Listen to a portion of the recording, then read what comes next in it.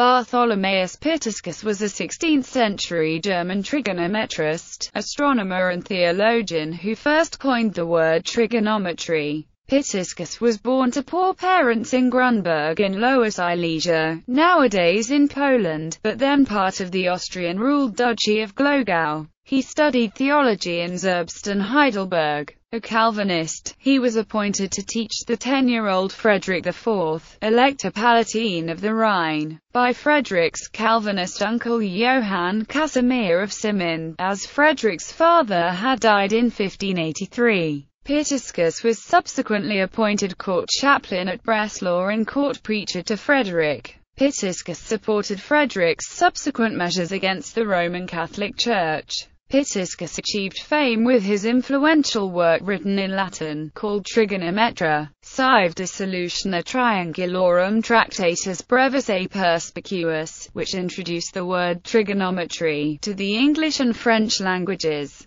translations into which had appeared in 1614 and 1619, respectively. It consists of five books on plane and spherical trigonometry. Pitiscus is sometimes credited with inventing the decimal point, the symbol separating integers from decimal fractions, which appears in his trigonometrical tables and was subsequently accepted by John Napier in his logarithmic papers. Pitiscus edited Thesaurus Mathematicus in which he improved the trigonometric tables of Georg Joachim Rheticus and also corrected Rheticus's Magnus Canon Doctrinae Triangulorum. Pitiscus died in Heidelberg. The lunar crater Pitiscus is named after him. The classical scholar Samuel Pitiscus was his nephew. Literature. Carat groundbreaking scientific experiments, inventions, and discoveries. Carat http colon slash slash locomat.loria.fr contains a reconstruction of Pitiscus tables. S. Gottwald, H. J. Ilgauds, K. H. Schlotter, Lexikon Bedeutender Mathematiker. Verlag Harry Thun, Frankfurt A. M. 1990 ISBN 3-8171-1164-9.